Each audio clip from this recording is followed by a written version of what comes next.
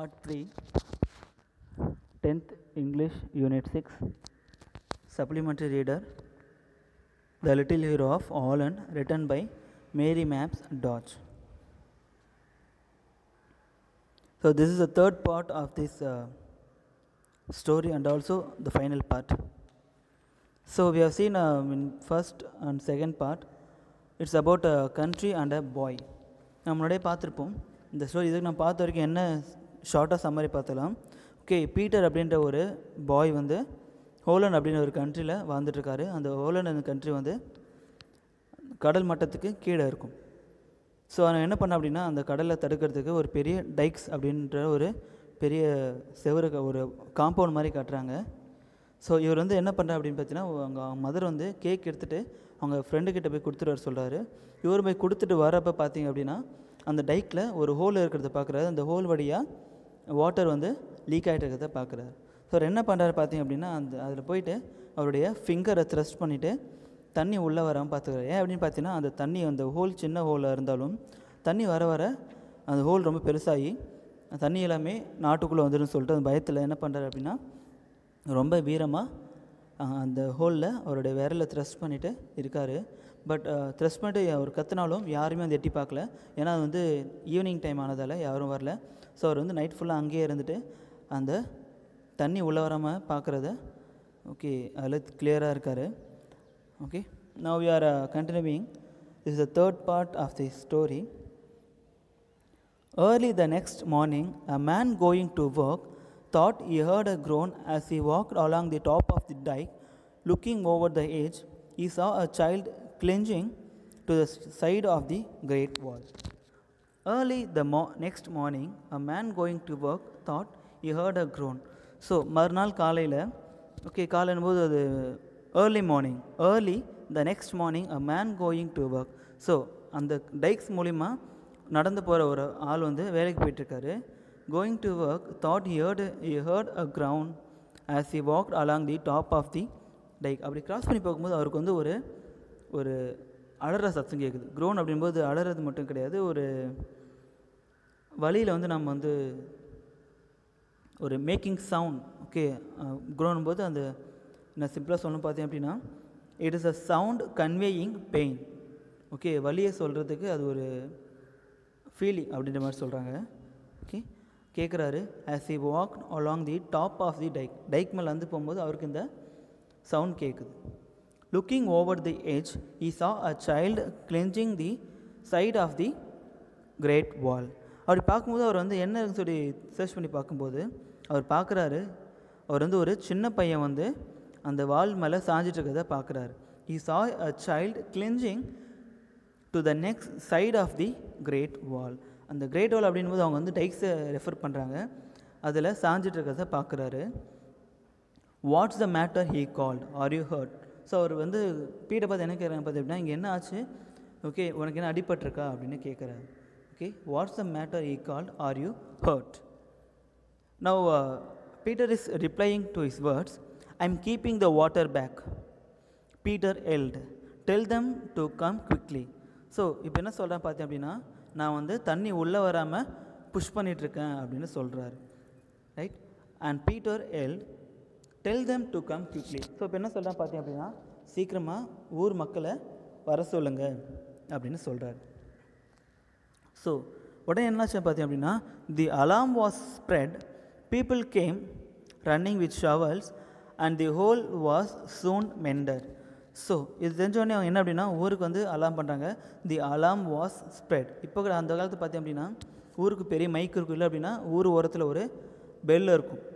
Right அது நம்ம ஊரில் இருக்கும். பட் இங்கே அதே மாதிரி ஒரு பெல் இருக்குது என்ன பண்ண அப்படின்னா ஓகே அந்த நாட்டு மக்களை கூப்பிட்றதுக்கு ஒரு தனியாக ஒரு பிளேஸ் மாதிரி இருக்கும்.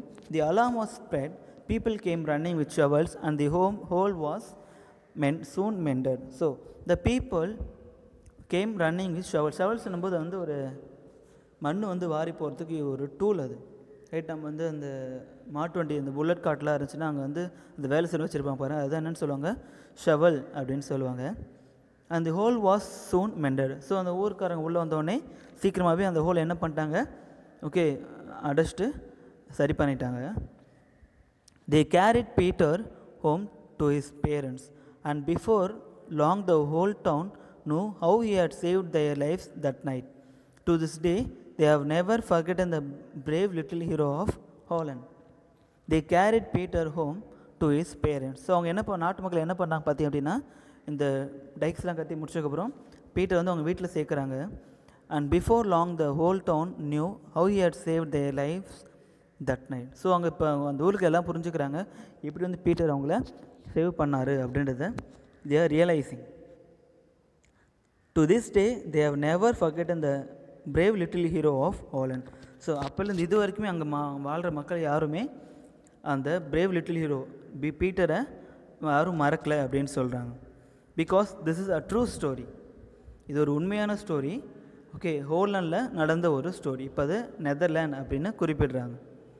Right so almost it's it's a short story hope you understand right uh, now we are seeing uh, the meaning of this lesson this part okay groan okay groan g r o a n groan make a deep inarticulate sound conveying pain make a deep inarticulate sound conveying pain நம்ம என்ன சொன்ன மாதிரி வழியில் வந்து அந்த வலியை சொல்கிறதுக்கு நம்ம ஒரு சைக்கிள் யூஸ் பண்ண அதுதான் என்னென்னு சொல்லுவாங்க க்ரோன் அப்படின்னு சொல்கிறாங்க shovel tool resembling a spade with a broad blade and typically upturned side used for moving earth coal snow etcetera சொன்ன மாதிரி அந்த மணல் வாரி போகிறதுக்கு ஒரு டூல் தான் ஷவல் அப்படின்னு சொல்லுவாங்க அதை யூஸ் பண்ணி தான் அவங்க என்ன பண்ணுறாங்க அந்த ஹோலை அடைக்கிறாங்க அப்படின்னு சொல்கிறாங்க so okay we have seen a story and the glossary of the story okay this is it. Uh, thank you. Oh sorry students i forgot to tell something. So இப்போ உங்களோட ஒர்க் என்ன அப்படின்னு பார்த்தீங்கன்னா first you have to write a paragraph ஒரு summary of this story so submarine போது நீங்கள் வந்து ஒரு கைடை பார்த்தோ இல்லை ஒர்க் புக்கை பார்த்தோ எழுதக்கூடாது.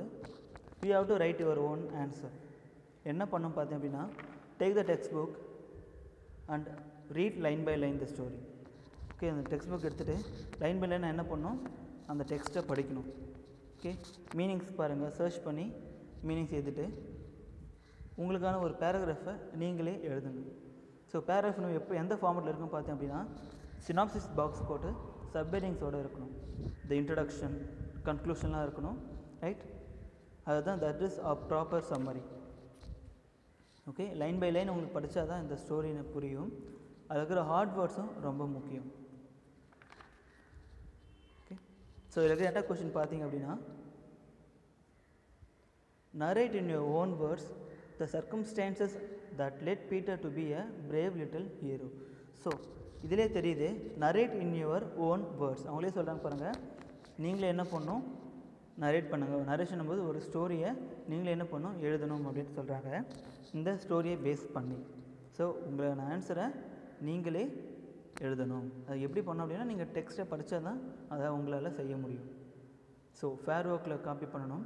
பட் எடுத்த உடனே ஃபேர் ஒர்க் காப்பி பண்ண வேணாம். நீங்கள் ஓனாக எழுதும்போது சில மிஸ்டேக்ஸ் வரலாம். ஸோ என்ன பண்ணோம் அப்படின்னு பார்த்தீங்கன்னா ஃபர்ஸ்ட் ஒரு ரஃபாக ஒரு நோட்டில் எழுதி எழுதுங்க. அது மிஸ்டேக்கு கரெக்ஷன் பண்ணுங்கள் ஓகே கரெக்ஷன் பண்ணி எந்த மிஸ்டேக் இல்லை அப்படின்னா then copy it in your fair notebook okay so எடுத்தோடனே ஃபேர் நோட்டில் காப்பி பண்ணாதீங்க. ஃபர்ஸ்ட் ஒரு ரஃப் நோட்டில் எழுதிட்டு அதுக்கப்புறம் அதை ஃபேர் நோட்டில் copy mana that will be good for you.